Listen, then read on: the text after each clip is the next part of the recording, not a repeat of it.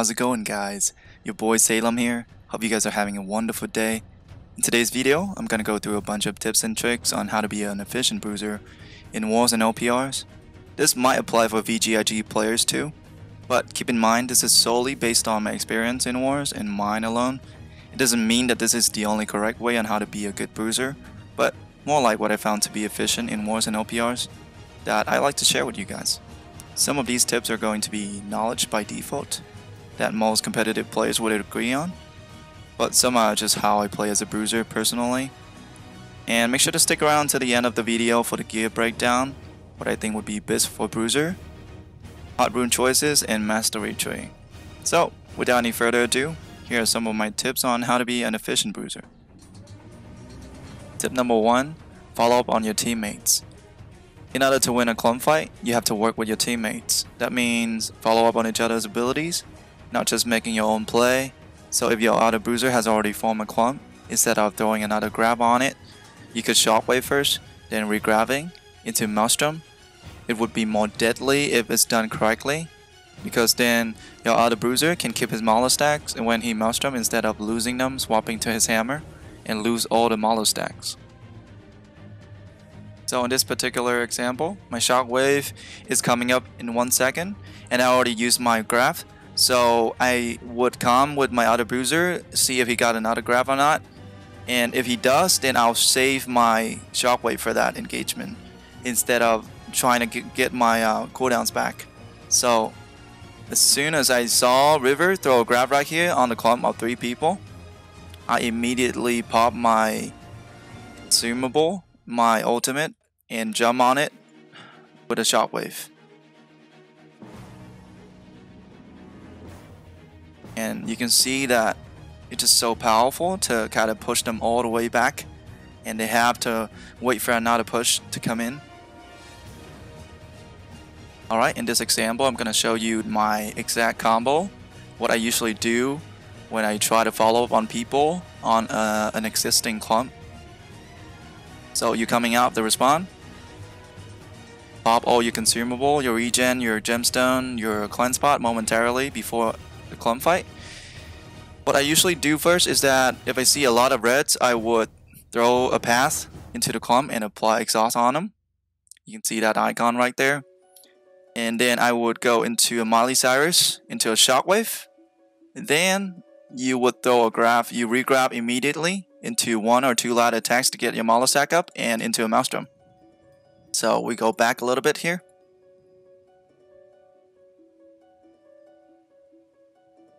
Right, coming out of respawn by your consumable, by your cleanse pot. Pop all your consumables momentarily before the clump fight.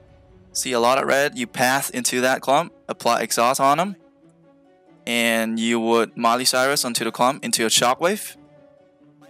Then you regrab immediately into one or two light attacks into a Maelstrom.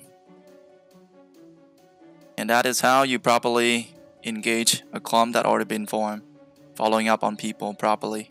Tip number two, how to get on point safely. In wars or OPRs, capping the point is the winning condition, but you can't just rush into getting on point without considering all the factors, how not to get caught and die immediately in a clump fight outside of point because then you would gain no influence and then you would have to wait until you respawn and then try to get on point again. So you're coming out the gate, there are a bunch of clumps already been formed on our road and the point's ticking past 60%, 75%. Instead of jumping straight to these clumps that already been formed on our road, resulting in no good outcome at all, what you can do is that you can swing Y to wherever there's no red at all in this example, I'm swinging to opposite bonfire because there's no red at all on this side. So I can try to get on point safely by swinging wide into the point on the left side. So I'm swinging wide, I'm not getting caught or anything. Right here, I'm getting on point and nobody's looking at me, see? The point's ticking but nobody looking at me and they try to get on point right here. So you path on that into a shockwave. I'm living right here without getting caught at all while providing all the utilities I can, popping all my consumables to a grab, to a maelstrom. So that's how you get on point safely. Number 3. Consumable usage.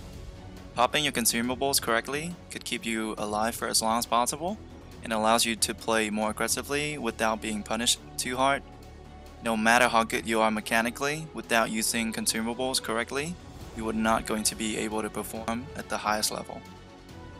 Alright, so you just respawn. Try to get back to the scene by popping a haste spot. Turn on the map, locate your teammates, and locate your healer is the most important thing. So I see him right here, like casting at the gate. So I'm trying to go in, communicate with him. right behind. I'm about to take a lot of damage. Be careful. So I come with him and I tell him that I'm about to take a lot of damage. And right then, right momentarily before engaging into this clump fight, I pop a gemstone dust, following up with a regenerating pot. And just right before I engage into this clump fight, right, I pop my cleanse pot. And this allowed me to be immune to any debuffs at all applied on me for a small window. So I'm taking a lot of damage here. These two guys are focusing on me. Not a single cast been put on me yet because he's trying to get his cooldowns back. So I'm still living. Not a single debuffs on me except for the slow because, you know, the cleanse pot just doesn't cleanse that. And I'm still living. I'm still living. And I got a DE on me, cast on me. So I'm living right here. Putting all my utilities on point without getting punished too hard. And I can play as aggressive as I can. 1v2, 1v3 without taking too much incoming damage um, by popping my consumable correctly. And that is how you use your consumables correctly into engaging a fight. Tip number 4 Stamina Management. One of the biggest skill gaps between good players and bad players is stamina management. Under extreme pressure, how well you manage your stamina would be the deciding factor, keeping you alive for as long as possible in a fight. So the key of success here is to learn the rhythm of dodging. You would want to do 2 to 3 light attacks, then dodge, then 2 to 3 light attacks, then dodge again. Also, eating up a couple of light attacks would not kill you, instead, saving your stamina to dodge more deadly abilities like shockwaves, grabs, or maelstroms. That way you could stay alive without stamming out constantly. Okay, so this is what I mean by the rhythm of dodging. Before going into a clone fight, I pop my stone form, which is the ultimate that I chose here in order to allow me to play more aggressively in a clump fight without getting stagger or stun. Though you still need to dodge because you don't want to take any incoming damage. So you do one, two light attack, and this guy's just jump up, he's about a shockwave. Then I have the full stamina bar right here so I can dodge it. One, two light attack into a dodge.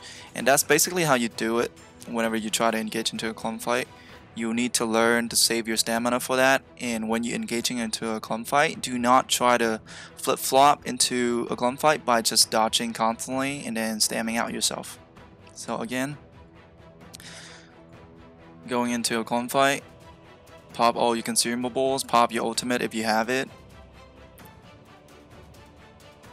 Do one two light attack and be aware of your situation right here. Have the composure the vision to make sure you save your stamina bar for that. So this guy's about a shockwave. I dodge. To one two light attack into dodge. Into one two light attack into dodge. And that's basically how you do it.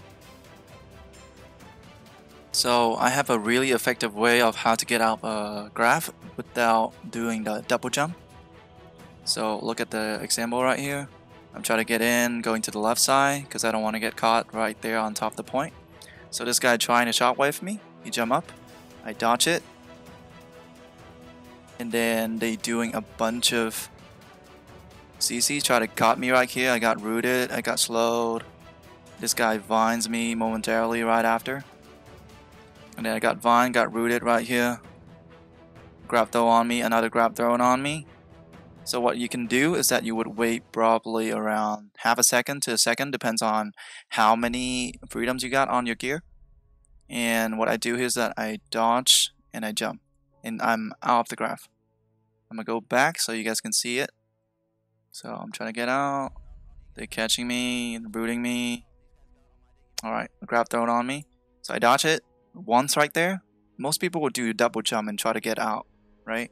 But what you can do is that you dodge once and then you jump. That means the space bar. Just jump out of the grab after you dodge once. And make sure you have to wait probably for around half a second to a second, give or take, depends on how many freedoms you got, and you're out of the grab. Tip number five communication is key.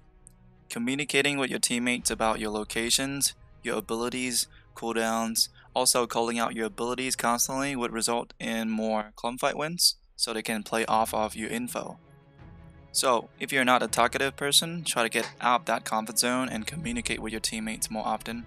Calling out where you place your abilities, your cooldowns, how many seconds until you can engage or follow up again, playing together as a team and follow up on each other. This is so easy to say but so hard to do in a clump fight because you can't see anything.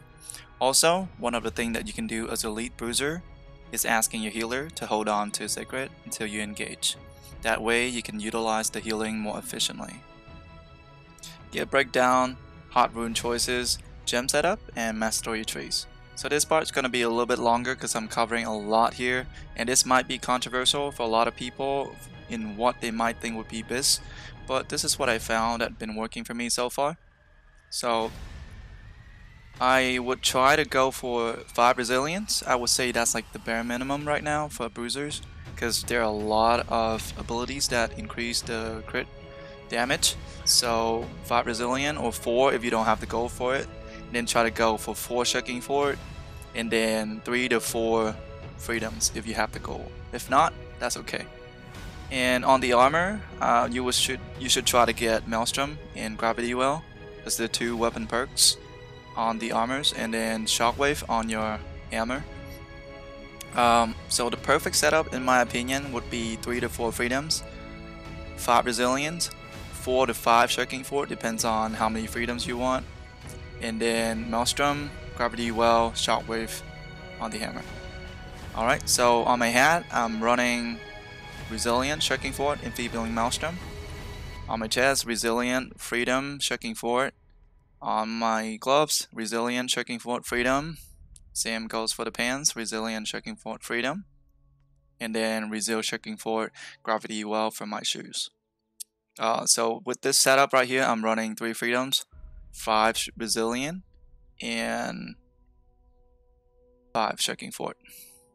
Sometimes if I feel like I need another freedom, then I would throw in this headwear right here, just so I get a little more slippery and they would not be able to catch me as much. But this is probably the best setup right here. I'm gonna throw a screenshot of my gear later on. On the jewelry, I'm running slash protection, health, stamina recovery on the amulet. Leeching, invigorated punishment slash damage on my ring because I don't feel like you need hearty as a medium bruiser if you manage your stamina well and you look at all my bots, I don't stam out a whole lot. And then on the ring, you can either go for refreshing toast, regenerating, pur purifying toast. I would say refreshing toast and purifying toast are the two must-have perks. And the third perk could be regenerating, or refreshing ward, or refreshing. So earring, you can really go crazy with it. So for a lot of people, they still prefer attunement over chain but I would say the two must have perks are Thwarting Strikes and Refreshing Moves.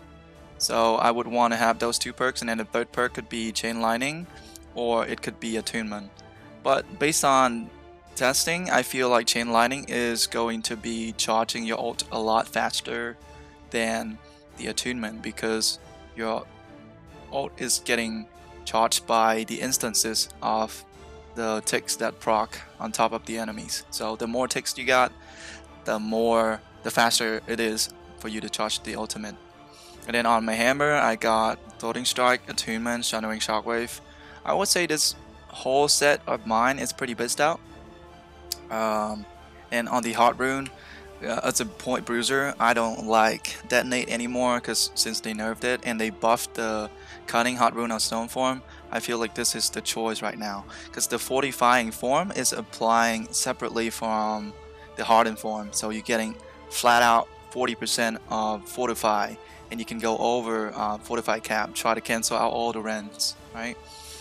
And then for the gem setup I'm going for four onyxes and four opals That way, combining with the slash protection, I'm getting 20% of slash damage for uh, resistant and then 10% of everything else. And I run gemstone whenever I'm um, warring because uh, there are a lot of different types of uh, damage out there that could easily kill you, like elemental damage with the rune glasses and all that, with the detonate, the ice storm, and all that stuff. So running the gemstone dust, I would say, is a solid choice. Um, you can also run the brutal heart rune of detonate if you're going for more kills but trying to trying to survive is my top priority. I also think that the rune glass on the armor is kind of overrated. Uh, instead, I would rather take 2.5 more resistant on everything else uh, instead of the 5% outgoing damage of the punishing um, rune glass because you're already dealing so much outgoing damage already. So go, try to go for the 20-10 ratio. This is like the gold standard right here. And then for the mastery tree, I'm not gonna go into it too deep anymore. So you guys can go ahead and copy my tree if you guys want to copy it. I would say the Great Axe tree is pretty standard right here. And I don't like Whirlwind, so I use the Charge instead. And uh, yeah, and then this is my hammer. Okay, that is pretty much it for the videos guys. Uh, if you have any suggestions, put them down in the comments below and then we can all discuss. And until next time, peace.